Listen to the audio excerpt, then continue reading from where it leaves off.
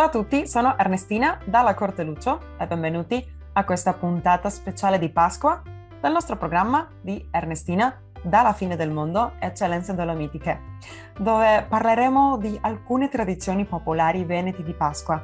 Ci troviamo già in Settimana Santa e senza dubbio la Pasqua è un'epoca molto importante.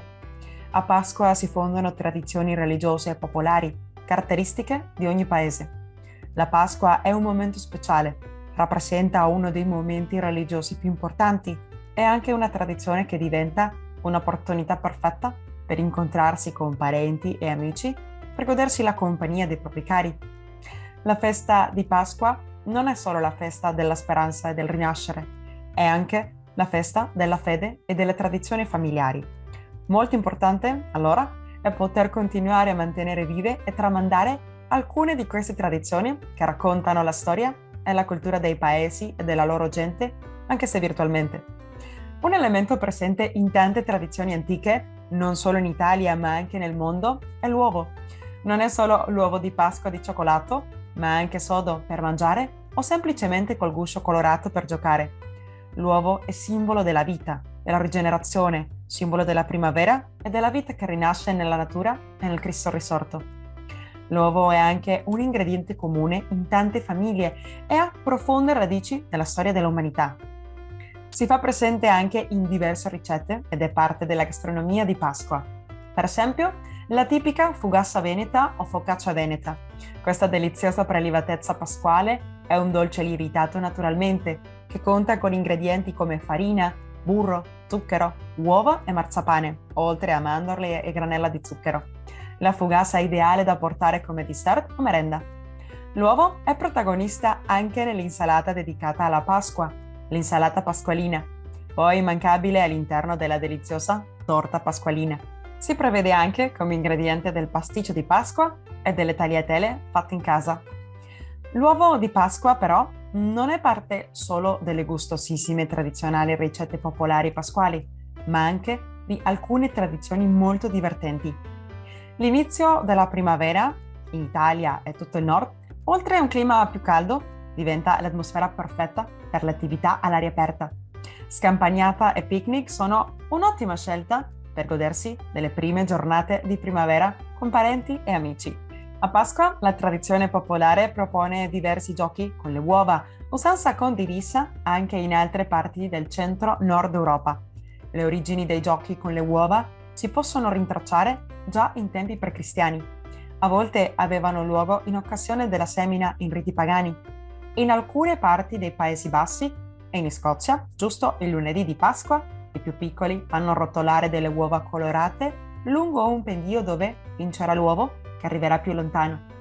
Un'antica tradizione di Pasqua è il rolo. Questo è un gioco molto popolare anche nel bellunese e ha profonde radici contadine. Da poco è riapparso nell'attività di Pasqua, riproponendo e valorizzando questo gioco della tradizione. I partecipanti devono lasciare andare delle uova sode colorate lungo un piano inclinato con l'obiettivo di colpire le altre uova per poter ripetere così il lancio. Se non succede, l'uovo rimane nell'arena sabbiosa di forma voidale, diventando anche un elemento a colpire.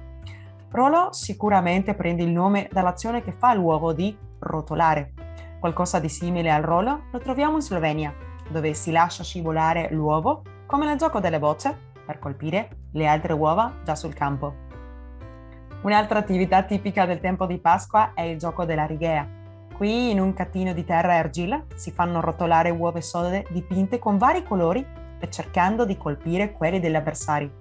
Senza dubbio è un gioco tipicamente pasquale di cui esistono molte varianti. In alcuni posti come il Feltrino e Alimana, come piano inclinato, utilizzavano una tegola per far scivolare l'uovo sodo. Invece a Belluno e a Castion si utilizzava la tavola per lavare i panni, nota anche come lampor o lavador.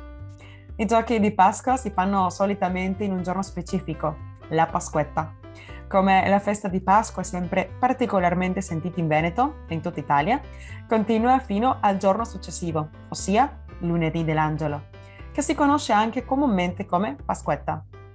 E rimane sempre l'occasione giusta per stare con le persone care sono tanti i modi in cui le famiglie si preparano alla Pasqua e anche le idee per allestire e colorare la propria casa.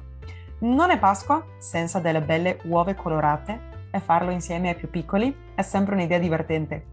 Da decorare le uova a fare centrotavola, biglietti d'auguri e fino a preparare le tradizionali uova di cioccolato. Gli alberi di Pasqua sono perfetti per decorare la tavola per il pranzo di Pasqua e prepararlo all'arrivo di questa importante festività. Possiamo realizzare delle ghirlande pasquali da appendere alla porta d'ingresso, ma anche per decorare la casa per la Pasqua. Nell'emisfero nord inizia la primavera e a sud l'autunno. Questo cambio di stagione è anche il tempo perfetto per entrare in connessione con la natura.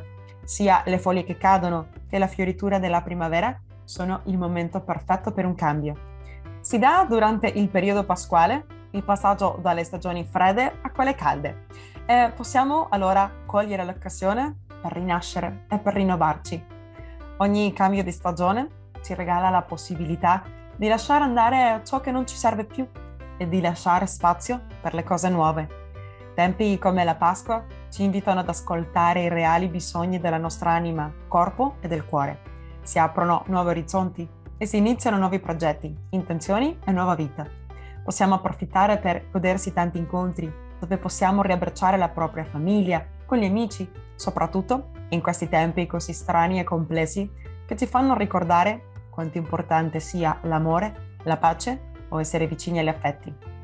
Ora, parlando di essere insieme ai propri cari, in questa festa voglio regalarvi, carissimi ascoltatori del nostro programma che ci seguite su Radio ABM Voce delle Dolomiti e anche tramite le nostre reti sociali, una poesia di Pasqua del famoso scrittore Gianni Rodari. Penso che si adatta perfettamente a questi tempi che corrono. Dice così: Dall'uovo di Pasqua è uscito un pulcino di gesso arancione col becco turchino ha detto vado, mi metto in viaggio e porto a tutti un grande messaggio. E volteggiando di qua e di là, attraversando paesi e città, ha scritto sui muri, nel cielo e per terra, viva la pace, basso la guerra. Spero vi sia piaciuta tanto come me, penso che ci dona un po' di allegria e speranza in questi tempi così difficili e incerti. Noi nella redazione del programma Ernestina dalla fine del mondo e anche dalla famiglia bellunese dell'Argentina. Vogliamo augurare una santa e serena Pasqua di Resurrezione per tutti voi bellunesi nel mondo. Speriamo che sia una giornata di pace e luce per le vostre famiglie e i vostri più cari. Vi aspettiamo alla prossima puntata. Arrivederci amici e come dice il nostro motto, vicini e lontani, mai soli. Auguri di buona Pasqua a tutti! Ringraziamo Ignazio dalla Corte Lucio per la musica e il montaggio e Patrizia Lucio alla regia.